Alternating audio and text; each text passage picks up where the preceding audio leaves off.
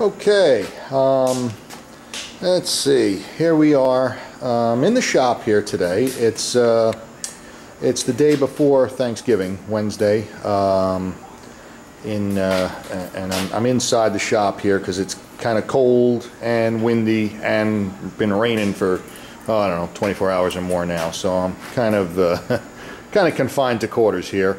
Um, and I'm gonna I'm gonna try and take care of a, a little job, um, sheet metal job. It's a uh, show you in a minute what I'm doing.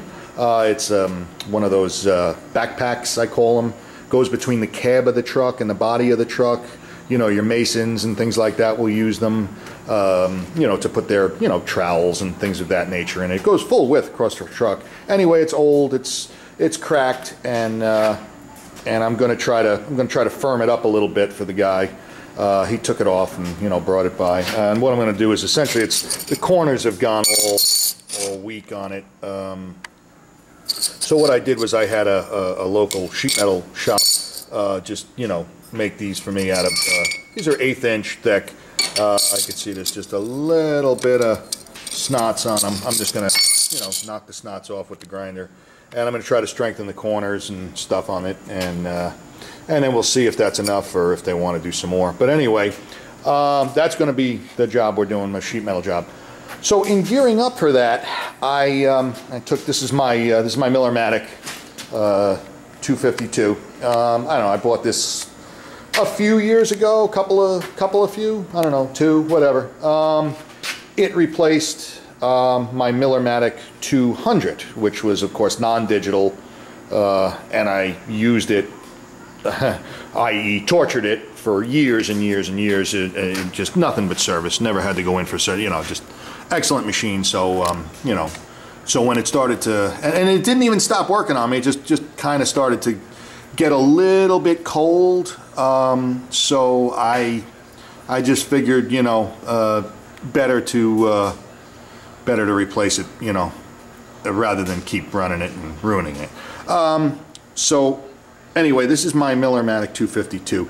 Um, so in gearing up for this sheet metal job, naturally, I normally run 035 in here, you know, and uh, uh, steel, you know, and, and, again, unless I need to switch it over for, for some reason, you know, I'm stainless or, you know, whatever. Now, in this case, I, like I say, because I'm going to be doing a, you know, very thin sheet metal thing, so I figured, you know what, let me switch it over to 030. So, again, because my mind is shot, uh, from all the whatever mileage and what it is I do. Um, I couldn't locate the, I knew I had rollers, uh, 030 rollers. Uh, I mean, I still have stuff left over from when it was, uh, you know, like I said, from the Millermatic 200. So essentially, I've had one of these Millermatic machines for, I don't know, decades, I guess. More, you know, more than, you know, uh, probably 20 years. Anyway, so I said, well, I know I have 030 rollers. I just couldn't seem to, I'm looking around, looking around, looking around.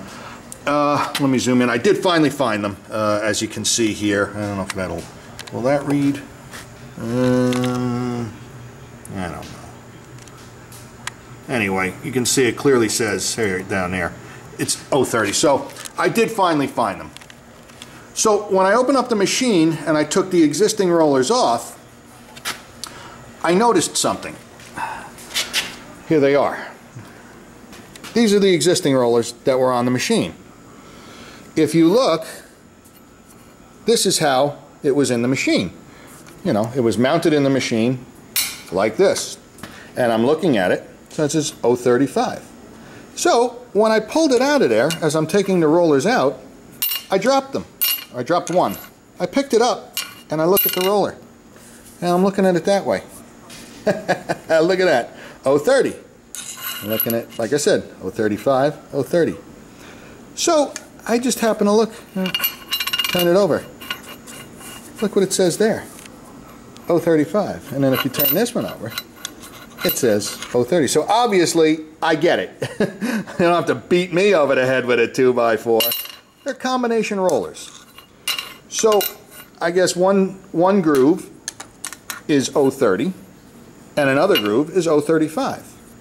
But here's the reason I'm, I'm leading in with this is I know I blab too much. Anyway, it says you read them this way, right? It says 030, 030, and then of course if you flip them, it's going to say 035 on this side. And this is the way it was in the machine. When I looked at it mounted on the on the drive spindle, it was this way. It said 0, I was reading 035. That's why I assumed it was with just 035 rollers. These must have been the ones that came with the machine, like I said, and I guess they give you a combination roller. Now, here's the deal. So I took the thing and I said, well, 035. I'm saying, now I know that all the Miller stuff runs on the inside. In other words, I, again, I've had Miller equipment for a while. Here, you see, it runs on the, let me see, can I, here we go.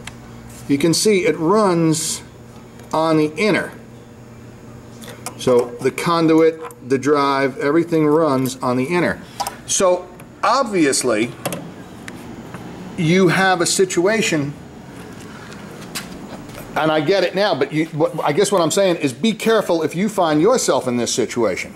Uh, like I said, that always, at least all the Miller equipment that I've had, always runs on the inside. In fact, let me show you over here. This Here's a Miller, this is an S60. Uh, this is the one I did the, uh, the aluminum experiment with.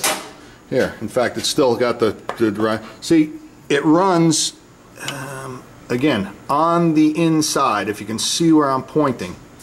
It runs on the inside roller. Uh, now again, this has the uh, quick release, as does the other one, um, which is nice, you know, nice feature. Uh, the older stuff, you had to put the three bolts in or whatever. Uh, and I guess I'm going to say I'm going to I'm going to say that the old rollers will still work with the new system. I think because, like I said, I don't remember. Uh, I think the O30 rollers that are in there now are um, are left over from my Millermatic 200. But anyway. So what I guess I'm saying is be cautious if you find yourself in this position. Eh, great, the damn air compressor kicks on right while I'm talking. Okay, I just wanted to wait for the air compressor to cut off. To...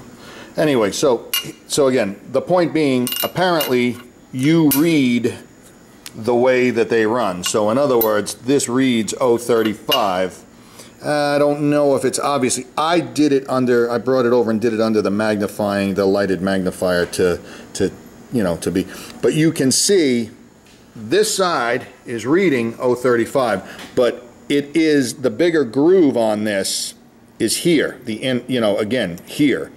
This is the smaller groove. Here's a piece, let me see, maybe some auxiliary lighting here would help. Yeah, no, that might make, well, know if that makes it more glary or not. Here's a piece of the 030 wire that I'm running now. That I just, you know, that I just loaded in there. So here it is on there, on the inner groove, and then here it is on the outer groove. You can see it clearly is going deeper in the inner groove than it is on the outer groove. So, like I say, just a, you know, uh, uh, just a note to, to pay attention to because I didn't realize that. Like I said, I've had this equipment, you know, Miller equipment like this for years, feeders and Millermatics and stuff. So I didn't realize this, and I guess I, I guess I just didn't wasn't thinking in the terms of the, uh, you know, the combination roller. Normally the rollers are set up, though you get two grooves, they're usually the same. So just a cautionary note: when you have it, if you have a Millermatic, and you have this sort of a situation, make sure that what you're looking at corresponds to the wire you're feeding. In other words, if you're looking at 035, make sure you're feeding 035 wire. If you're looking at 030 facing you, make sure you're, you're feeding 030 wire. Uh, I mean, I'm sure you could I'm sure you could go one way with that. I'm sure it'd be all right to go with 035 wire on 030 uh, rollers, but I think you might have some slipping and stuttering problems if you tried to go in the other direction, you know. So anyway, uh, just a little, just a little uh, just a little visual aid there, just uh, just for shits and giggles. Just you know, maybe that'll help somebody. Like I said, I never knew about it. I've been running this stuff for years. So uh, that's it. All right. Anyway, um, so that's all set up now. Uh, like I said, we're on 030. I'm going to uh, bring in uh, bring in the piece. It's quite large, actually. Well, for my shop, anything's large. Um, it's quite large. I'm going to get it in here, get it out of the wind, the cold, and the, and the rain uh, and see if I can't start setting it up. I'm just going to clean these up and I'll show you what I'm going to do on this. All right, so I'll bring you back. All right, uh, brought the box inside. Uh, I'm going to use the term loosely, or as inside as I can make it. Uh, you can see the, the, the size of this thing. It's probably all of you know, it's all of eight feet wide, and you know, whatever. It's probably two and a half feet deep or whatever. Uh, it's as much in as I can make it. Uh, I've got it picked up with the with the forklift naturally. Uh, let me try to show you what the problem is here. Let's see. Um, Let's see. You can maybe you can see if I. It. Geez, I just can't. If there you go. Um, that's. I hope there's not too much glare on that. It just. It's all shaky. It's all. There's no. You know what I'm saying? There's no structure left to it. Um, let me turn this light on. And the reason, I mean, what I've found, you can see these cracks in here. Uh, every corner every corner of this thing has got a crack uh, that runs all along it. You can see, let's see, uh, yeah, you can see where the, where the, well, you can see the crack, I think, right? So what my plan is, is to use those, those patch panels, the way I should, because they say aesthetics no longer, no longer apply. They don't come and get one of these things. And um, here's, I'll show you my plan here. Uh, my plan is to, like I say, to take essentially these and put them in here like this uh, to just essentially reinforce the corner and then just weld, you know, pretty much around the thing. Uh, and I think that, there you go, that should give a pretty good picture. I'm gonna, I'm gonna peel this, uh, this gasketing off of here. I think I see a seam down there somewhere. So uh, yeah, that's what I'm gonna, that's my plan is to put these things over here like this and essentially, you know, just weld them around. And again, that's the reason I wanted to uh, switch over to the 030 wire, uh, you know, and uh, like I said, um, and every corner, and this applies to every single corner of this thing. Like let me, and then what I'm gonna do also, let's see, can you, this is a bot, here, here it is. On the bottom, maybe you can see like right here, there's cracks and this thing is lipped over. So again, I'll clean this up as best I can and then I will uh, I'll weld this I'll re-weld you know I'll grind it out a little bit and you know maybe put a couple of you know uh, little beads one on you know one and two and three that kind of stair step thing just to see if that'll strengthen things up a little bit uh, so that's my plan um, for now is just to you know to, to do that. And then I have, I, don't know if you noticed these, these pieces of iron here on my shop. Uh, he actually suggested maybe I string these up and down the, uh, you know, the walls of it from top to bottom to see if that would strengthen it. But uh, I don't know. I'm not sure if there's going to be much percentage in that. But I'm going to start with this, and then, like I said, I'm going to try and nail these corners back in. Can you? Uh, let's see. Maybe you can see. Uh, yeah, here. Here's the top one here uh, I guess you can, yeah, you can see that how how badly you know they're all cracked completely through. And of course the outside is obvious. So we're gonna start with that and see what that gives me. Uh, like I said I want to have a little bit more room that I could actually move around in here with this thing in here but apparently that's not going to be the case. So I'll do my best to show you you know what I'm doing as I go. Um, I guess the first thing is going to be like I said I'm going to remove this gasket so as not to you know to melt it um, and then I'm just going to clean clean this up, you know, Mig loves clean, so I'm going to clean this up as best as I can and uh, start nailing these in. So um, I'll bring you back as I as I move along. All right, well, um, guess that's going to be pretty much it for this. Um, this is the, the one side, uh, pretty much done. Um, as you can see, I, I put these angles, you know, these corner angles in and you know, I pretty much welded them uh, all around, uh, you know, even down into down into here. Um, as best I could anyway, a little tricky to get down in there, uh, to get it clean anyway. So uh, that's about it. It certainly does seem a whole lot firmer. Uh, it seems like it's, you know, one piece again, as opposed to being, you know, separated and all all parted out there. So uh, yeah, we got it pretty well in. Um, I also, what I did was, uh, let me see, let me get a light here. I also, up in here, you can see, uh, yeah, sure, here. I also uh, put weld up in these corners here. uh, let's see, how do I get the light? I, I guess you can kind of see that. So as not, you know, so as to also to help uh, a little bit with that, uh, to give it a little strength, um, you know, and that seems to help help a lot. Um, so I don't know if they're gonna. I'm gonna do, you know, essentially it's gonna be.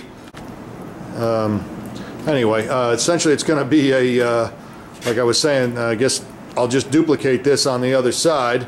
Um, I already did the I did the two bottoms. Let's see. Uh, yeah, yeah, this light's more trouble than it's worth. I think it's too bright.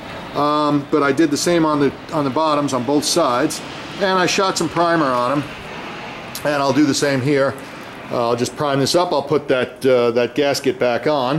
Uh, and then that should pretty much be it, I think. I'll do, like I said, I'll just do the same thing on the other side, and then I'll uh, I'll let them know, you know, if they want to ha have a look and see if they think it really, you know, because originally they wanted me to put like these, you know, these pieces of uh, this little two-inch uh, channel iron type stuff. They wanted me to, you know, to to kind of lace that vertically up and down on here. I just don't know if there's going to be much percentage in that. I, I think this uh, is probably going to you know, this was seemed to be the way to go, um, and I think this pr will probably be sufficient. Uh, but again, up to them. Uh, so that's going to be about it. I'm just going to do the same thing on the other side, and uh, so that's it. So um, uh, I guess I'm going to say Happy Thanksgiving to everybody. Uh, this is the day before Thanksgiving. I think I mentioned that, and uh, so that's it. I just covered the just a little repair I was doing today, and the you know, uh, since it's cold and windy and rainy out. And again, that whole thing about the uh, the Miller drive rolls there, just uh, like I say, something I never knew about. Just figured I'd share that, and uh, that's going to be about it. So we're done. Uh, and like I said, wishing everybody uh, a happy Thanksgiving, and uh, we'll see you next time. Bye.